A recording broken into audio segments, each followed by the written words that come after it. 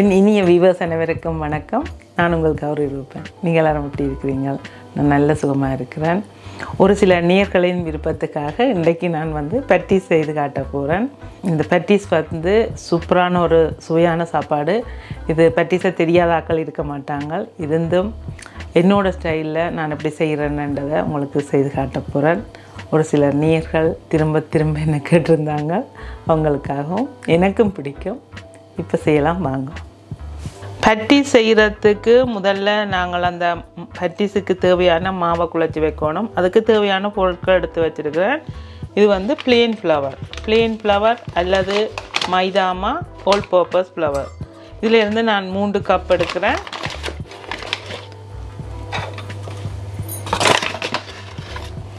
ரெண்டு மூன்று கப் இதை வந்து நாங்கள் அரிக்கணும்.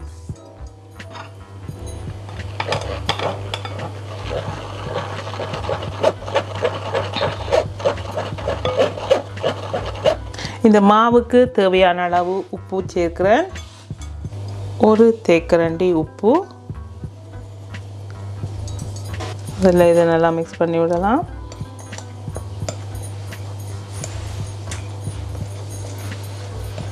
அதுக்கு பிறகு நாங்கள் எடுத்து வச்சிருந்த இது வந்து சன்ஃப்ளவர் ஆயில் எடுத்திருக்கிறேன். இதில் இருந்து ஒரு கப்புக்கு மூன்று டேபிள் ஸ்பூன் வீதம் நான் மூன்று கப்புக்கு வந்து ஒன்பது டேபிள் ஸ்பூன் எண்ணெய் விட போகிறேன் ரெண்டு மூன்று நாலு அஞ்சு ஆறு ஏழு எட்டு ஒம்பது இப்போ நாங்கள் இந்த உப்பு மா எண்ணெய் இது எல்லாத்தையும் முதல்ல நல்லா கையால் மிக்ஸ் பண்ணுவோம்.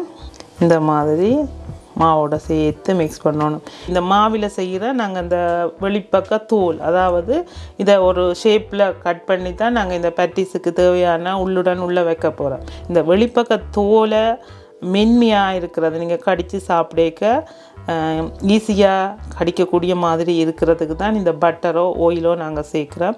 இல்லையாண்டு சொன்னால் அது வந்து ரப்பர் மாதிரி. அதாவது இது வந்து பச்சை மா பச்சை மாவாக இருக்கிறதால அந்த நாங்கள் இந்த டோவை மேக் பண்ணிக்கல அது வந்து உங்களுக்கு கடிக்க கஷ்டமாக இருக்கும் சாப்பிடும்போது. அந்த சாஃப்ட்னஸை கொடுக்கறதுக்கு தான் இந்த ஓயிலை நாங்கள் சேர்க்குறோம். இதை நல்லா மிக்ஸ் பண்ணிட்டேன்.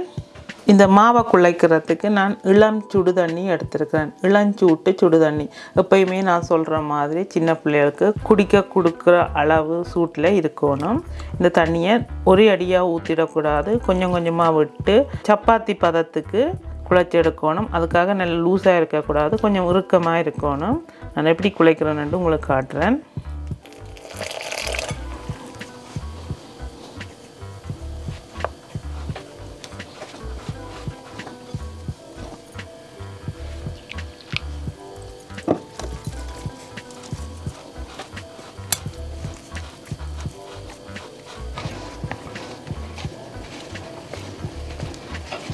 இந்த மாவு வந்து நல்ல சொப்டாயும் இருக்கக்கூடாது ஹார்டாயும் இருக்கக்கூடாது. ஒரு நடுநிலையாக இருக்கணும். இது பார்த்திங்கன்னா இப்போ உங்களுக்கு தெரியுது நான் இந்த மாதிரி ஒரு இது ஹார்டாக இருக்கிறதால தான் இப்படி இருக்கும். ஆக சொப்டும் இல்லை ஆக ஹார்ட்டும் இல்லை. அந்த மாதிரி நாங்கள் குழச்சி வைக்கிறோம் என்னென்னு சொன்னால் குழச்சி வச்சு இதை வந்து ஒரு ஒன்றரை ரெண்டு மணித்தியாலத்துக்கு பிறகு தான் நாங்கள் பட்டி செய்ய போகிறோம் அதுக்கு பிறகு இந்த மா வந்து நல்ல ஒரு பதத்துக்கு வந்துடும். இப்போ அதனால் நல்லா சொப்டாக குழச்சி வச்சால் மா வந்து இன்னும் லூஸாக போயிடும். இப்போ கொஞ்சம் திக்காக குழச்சி வைக்கல தான் இந்த மா வந்து சரியான பதத்துக்கு வரும். இப்போ நாங்கள் இப்படி பிசையும் போதே தெரியுது பாருங்கள் இந்த மா வந்து வெடித்து வெடித்த மாதிரி இருக்கும் இதுவே நாங்கள் ஒரு ஒன்றரை ரெண்டு மணி அப்புறம் இந்த மாவை எடுத்து நாங்கள் பட்டிஸுக்கு தட்டும்போது இந்த மாதிரி மா வந்து சொர சொரண்டு வேற வேற இல்லாமல் எங்களுக்கு சுமூத்தாக நாங்கள் தட்டேக்கில் நல்லா ஸ்மூத்தாக இருக்கும். இப்போ இப்போ நாங்கள் கொஞ்சம் ஹார்டாக குழச்சி வச்சா தான் அது பிறகு நல்ல பதத்துக்கு வரும்.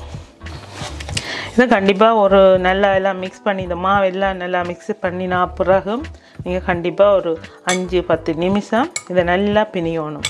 அப்போ தான் அந்த சொப் நல்லா வரும் மாவும் இந்த பெட்டிஸுக்கு உள்ளே வைக்கிற உள்ளுடன் டேஸ்ட்டாக இருக்கணும். அதே மாதிரி வெளிப்பக்க தோலும் வந்து டேஸ்ட்டாக இருந்தால் தான் பட்டிஸ் நல்லா இருக்கும். இப்போ நாங்கள் இந்த மாவை நல்லா குழச்சிட்டோம் குறைஞ்சது ஒரு ஒன்றரை மணித்தியால மாவது இந்த மாவை அப்படியே நாங்கள் மூடி வைக்கிறோம். இதை அப்படியே மூடி வைக்கலாம்.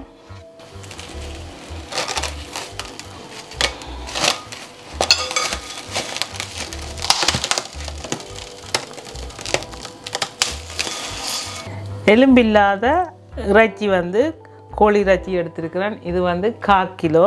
இதை வந்து நல்ல சின்ன சின்னதாக கட் பண்ணணும். நீங்கள் எந்த அளவுக்கு சின்னதாக கட் பண்ணுவீங்களோ அந்தளவுக்கு நல்லது. நான் இப்போ உங்களுக்கு சாம்பிளுக்கு கட் பண்ணி காட்டுறேன்.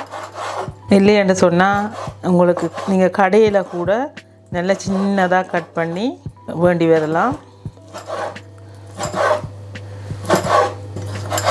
சின்னதாக கட் பண்ணிக்க கவனமாக கட் பண்ணணும். கையை கட் பண்ணிடுவீங்க.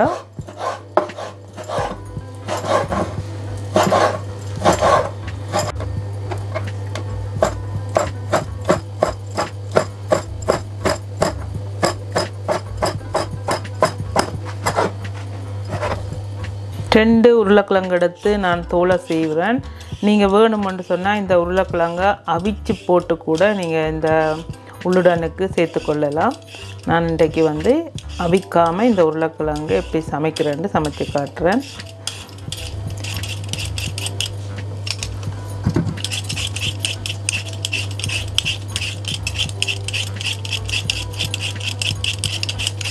அஞ்சு பச்சை மிளகாய் எடுத்திருக்கிறேன். இது அவ்வளவா உரைப்பாக இருக்காது. இதை வந்து நல்லா சின்ன சின்னதாக கட் பண்ணுறேன்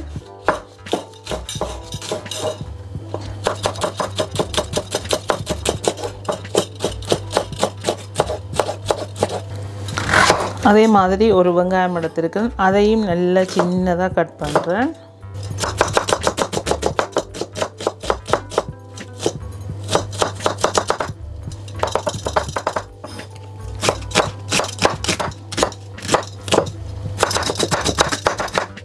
அதே மாதிரி கொஞ்சம் கருவேப்பிலை எடுத்துருக்கிறேன். அதையும் கழுவிட்டு நல்லா சின்னதாக கட் பண்ணுவோம்.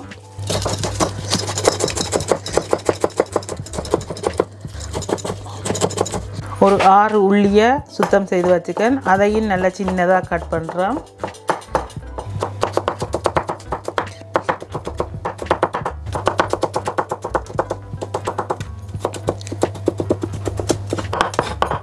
அதே மாதிரி சின்ன துண்டு இஞ்சி அதையும் வந்து நல்ல சின்னதாக கட் பண்ணுறேன்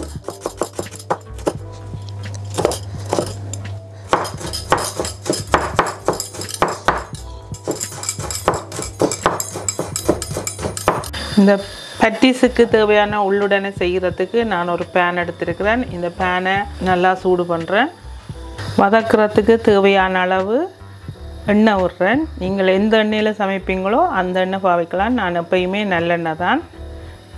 கால் டீஸ்பூன் கடுகு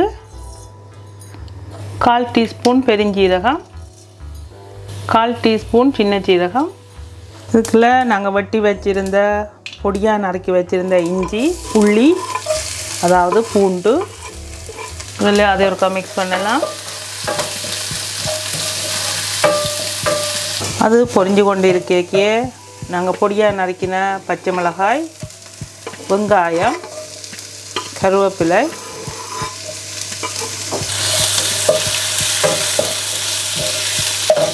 இப்படி ஒரு மூன்று நிமிஷம் வதங்க விடுவோம்.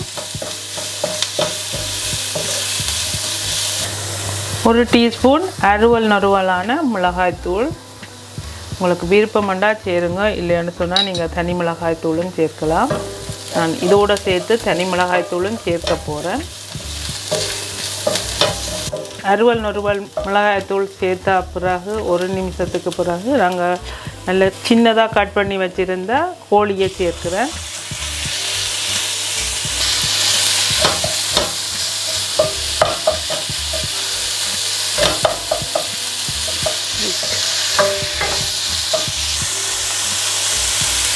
இதுக்கு வந்து ஒரு தேக்கரண்டி உப்பு சேர்க்கிறேன்.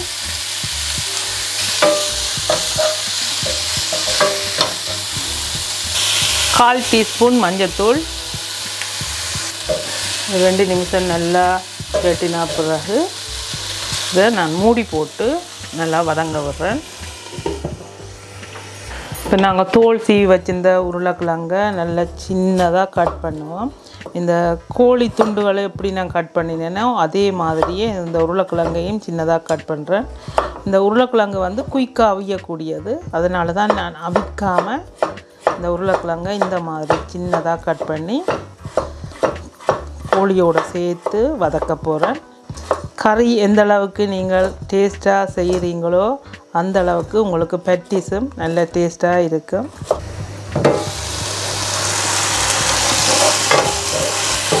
இந்த கோழி வந்து அந்த நாங்கள் கழுவி வெட்டின தண்ணியே அதில் இருக்கிறதே போதும். நாங்கள் இப்போ இந்த உருளைக்கிழங்கு வதக்கும் போது தான் கொஞ்சம் தண்ணி சேர்க்கணும். இப்போ பார்த்தீங்கன்னா கோழி வந்து தனித்தனியாக நல்லா வதங்கிட்டுது ஸோ இதோட இந்த வெட்டின உருளைக்கிழங்க சேர்க்குறேன். இதெல்லாம் சேர்த்து நல்லா மிக்ஸ் பண்ணுவோம். அடுப்பை கொஞ்சம் நல்லா கூட்டி வச்சுக்கொள்ளணும். திரும்ப இதுக்கு கொஞ்சம் தண்ணி சேர்க்குறேன். கொஞ்சம் தண்ணி விட்டு இந்த கோழியும் உருளைக்கிழங்கும் சேர்ந்து வதங்கி அவியோனா இது அப்படியே நல்லா குழஞ்சி வரும். இது ஒருக்கா நல்லா கிளறிட்டு மூடியை போட்டு திரும்பவும் ஒரு அஞ்சு நிமிஷம் வதங்க விடுவோம். அதுக்கு பிறகு திறந்து பார்க்கலாம்.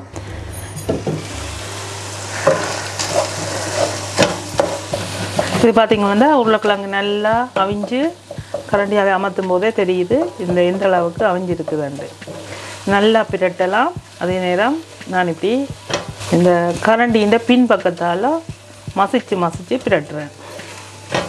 இதுக்கு உப்பு உரைப்பு எப்படி இருக்குன்னு ஒருக்கா செக் பண்ணி பார்க்கலாம். எப்படி இருக்குதுன்னு ஒருக்கா செக் பண்ணி பார்க்கலாம். உப்பு காணாது. உரைப்பு எனக்கு கொஞ்சம் போட்டால் நல்ல மட்டும் நினைக்கிறேன். உங்களுக்கு எந்த அளவுக்கு காரம் பிடிக்குமோ நீங்கள் அந்த அளவுக்கு சேர்க்கலாம். எனக்கு கொஞ்சம் காரமாக இருந்தால் நல்ல மட்டும் நினைக்கிறேன். அதனால் கொஞ்சம் அரை டீஸ்பூன் எங்களோட கறி பவுடர் நான் சேர்க்குறேன். அதையும் சேர்த்து நல்லா மிக்ஸ் பண்ணலாம்.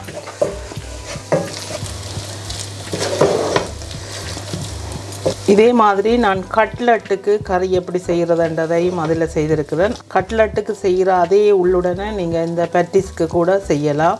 கறி பன் செய்திருக்கிறேன். அதுக்கு செய்த மெதட்லேயும் நீங்கள் இந்த பட்டிஸுக்கு கறியை மேக் பண்ணலாம்.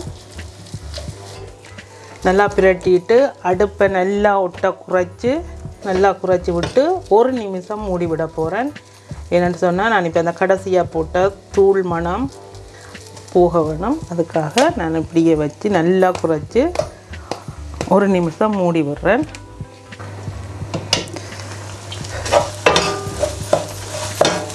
இப்போ நாங்கள் அடுப்பை நிப்பாட்டிட்டு இதை இறக்கி இதுக்கு நான் கொஞ்சம் இதுக்கு வந்து கொஞ்சம் தேசி புளி சேர்க்குறேன். நிறைய தேவையில்லை. உங்களோட டேஸ்ட்டுக்கு ஏற்ற மாதிரி கொஞ்சமாக நான் சேர்க்குறேன். இப்போ இந்த உள்ளுடனே நல்லா ஆற வைக்கணும். அதுக்கு பிறகு தான் நாங்கள் பட்டி செய்ய ரெடி ஆகணும். இதை அப்படியே ஆற வைக்கலாம். இப்போ நாங்கள் பட்டி செய்ய ரெடியாகலாம் நாங்கள் முதல்ல குழச்சி வச்ச மாவை எடுத்து திரும்பவும் ஒருக்கா பிணைஞ்சு குழைக்கிறோம். நல்லா ஊறி இருக்குது.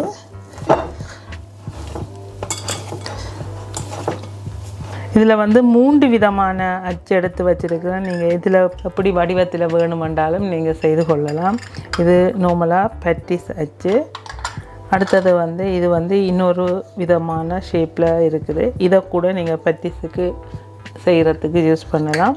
அடுத்தது நார்மலாக ஒரு கட்டர் இந்த ரவுண்ட் ஷேப்பை கட் பண்ணிவிட்டு நாங்கள் அதை வச்சு நாங்கள் பட்டி செய்ய போகிறோம் நான் வந்து சேம் பட்டி செய்த அதாவது பிளெயின் ஃப்ளவர் எடுத்திருக்கேன். இதை வந்து இந்த சப்பாத்தி கல்லில் மெதுவாக பூசிக்கொள்கிறேன் அப்போ தான் கொஞ்சம் ஒட்டாமல் இருக்கும்.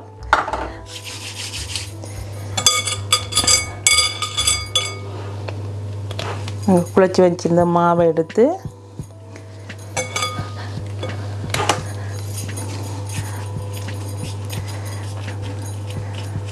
நல்லா உருண்டையாக்கிட்டு சப்பாத்தி மாதிரி பெருசாக தட்ட போகிறேன்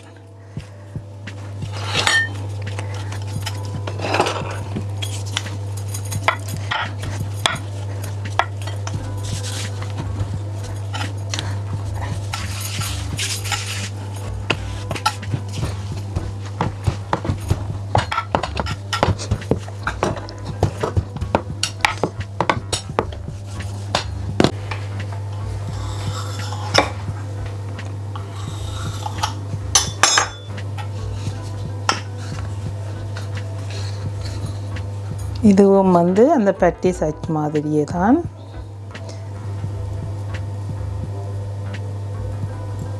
திரும்ப இதை எடுத்து கொஞ்சம் மூடி வைக்கலாம்.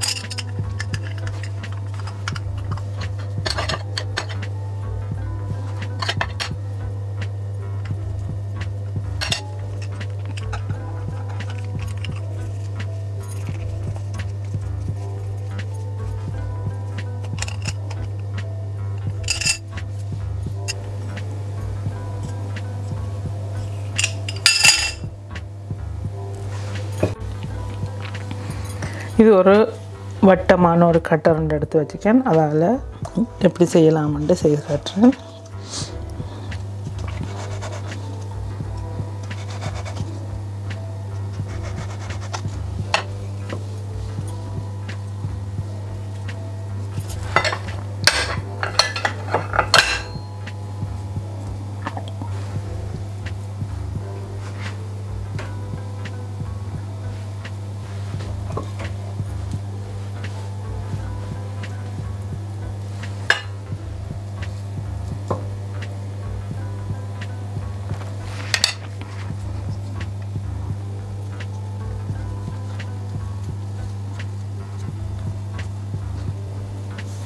கிட்டத்தட்ட கொழுக்கட்டை செய்கிற மாதிரியே தான் இதையும் செய்யணும்.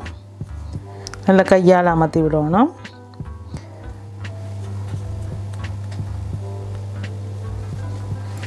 அதுக்கு பிறகு இந்த முள்ளு கரண்டி எடுத்து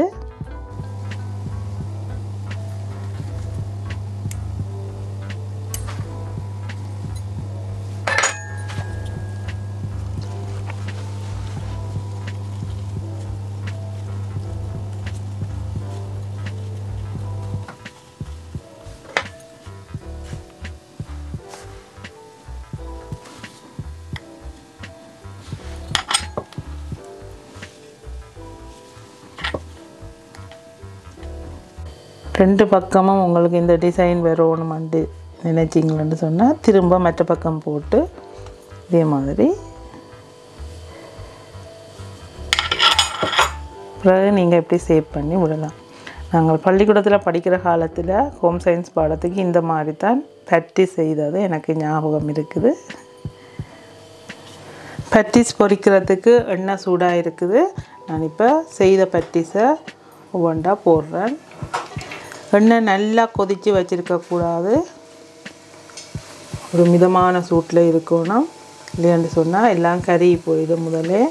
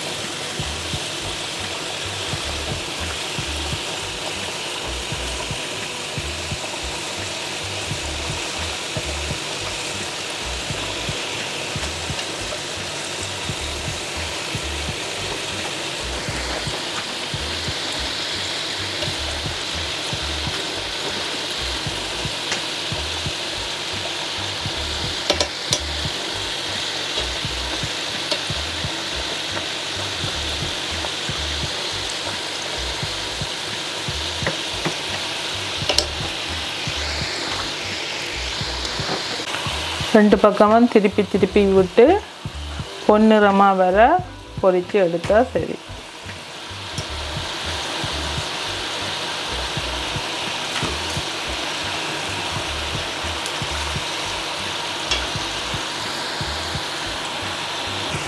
இப்போ நீங்கள் தொடும்போது இப்படி உங்களுக்கு அது ஃபீல் பண்ணுவீங்க இப்படி ஹார்டாக இருக்கிறது. அப்போவே பொறிஞ்சிட்டேன்னு தெரியும். கருக விடாமல் பொரிச்சதை வடிச்செடுக்கலாம்.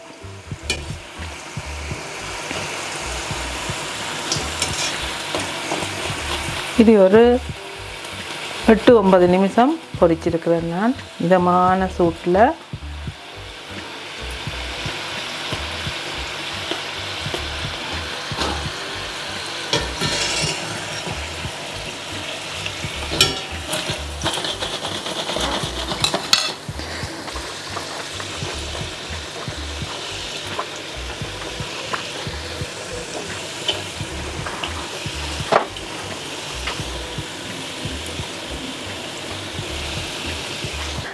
வந்து சிக்கன் பட்டீஸ் செய்து காட்டியிருக்கிறேன். சிக்கன் அல்லது நீங்கள் டின்விஷ் லேம் இப்படியான மீட்டுகளை கொண்டு கூட நீங்கள் இந்த பட்டீஸ் செய்யலாம். மின்ஸ் மீட்டுன்னு சொல்லி கடையில் இருக்குது. அந்த ரெடிமேட்டாக வேண்டி கூட இந்த பட்டிஸை மேக் பண்ணலாம். நீங்கள் வந்து இந்த நான்வெஜ் சாப்பிடாத ஆட்கள் வந்து நீங்கள் வெஜிடேரியனில் கூட இந்த பட்டிஸை செய்து சாப்பிடலாம். இதில் பெரிய வித்தியாசம் ஒன்றும் இல்லை. இந்த உள்ளுக்குள்ளே வைக்கிற உள்ளுடன் தான் டிஃப்ரெண்ட்டாக இருக்கும். இதை நீங்கள் ஸ்வீட்டில் கூட செய்து சாப்பிடலாம். கிட்டத்தட்ட மோதக மாதிரி தான் இந்த பட்டிஸும் கொஞ்சம் கொஞ்சம் வடிவமும் அதுக்குள்ளே வைக்கிற திங்ஸும் தான் வித்தியாசமே தவிர கிட்டத்தட்ட ஒரே மாதிரி தான் இதுவும் ஒரு எங்களோட நாட்டில் ஃபேமஸான ஒரு பட்டீஸ் வடை ரோல் எந்த அளவுக்கு ஃபேமஸோ அதே மாதிரி தான் இந்த பட்டீஸும் ஒரு தேநீர் வேலைக்கு அல்லது பிறந்த நாள் வைபவங்கள் அல்லது உங்களோட வீட்டு விசேஷங்கள் எதுக்கு வேணுமென்னாலும் நீங்கள் இந்த பட்டிசை செய்து நீங்களும் சாப்பிட்டு உங்களோட வீட்டுக்கு வாராக்களுக்கு கொடுத்து மகளுங்க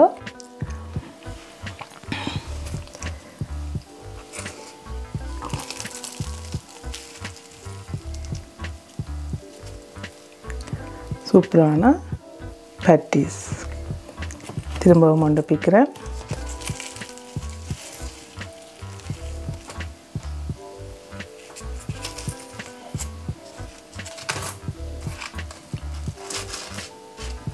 இப்போ நாங்கள் இந்த பட்டீஸை சாப்பிட்டு பார்க்கலாம். ஒரு பட்டீஸ் இதில் வந்து கெச்சப்பும் மைனேஸும் எடுத்திருக்கிறேன். எனக்கு மைனேஸ் வந்து ரொம்ப பிடிக்கும்.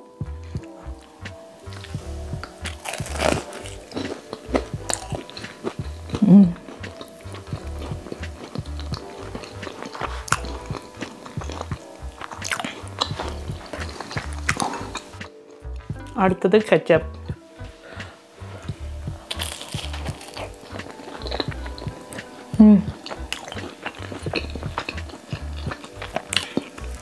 ரியலி சூப்பர் நான் செய்த மாதிரி நீங்கள் இந்த கறியை மேக் பண்ணுங்க. அப்போ தான் அந்த ரியல் டேஸ்ட் வரும். இப்போ நான் செய்கிறதான் டேஸ்ட்டுன்னு சொல்ல வரே இல்லை. நீங்கள் எந்த அளவுக்கு இந்த உள்ளே வைக்கிற கறி வந்து டேஸ்ட்டாக இருக்குதோ அந்த அளவுக்கு பட்டிஸ் வந்து நல்லா இருக்கும். அதே மாதிரி அந்த வெளி தோலும் வந்து நீங்கள் அந்த மாக்குழைக்கிறதுல தான் இருக்குது அந்த சொப்டா வாரத்துக்கு. நான் உங்களுக்கு இந்த பட்டிஸ் எப்படி இருக்குதுன்னு இப்போ பிச்சு காட்டுறேன் பாருங்க. அது இப்படி பிக்கும்போது இஞ்சி வரணும் இப்படி ரப்பர் மாதிரி இழுபடக்கூடாது. அப்போ தான் இது டேஸ்ட்டாக இருக்கும். இத்துடன் இந்த வீடியோவை முடிச்சுக்கொண்டு என்ன விரும்பி கேட்ட நேர்களுக்கு நன்றி நன்றி. இத்துடன் இந்த வீடியோவை முடித்துக்கொண்டு மீண்டும் நல்ல ஒரு வீடியோட நான் உங்களை சந்திக்கிறேன். நன்றி வணக்கம்.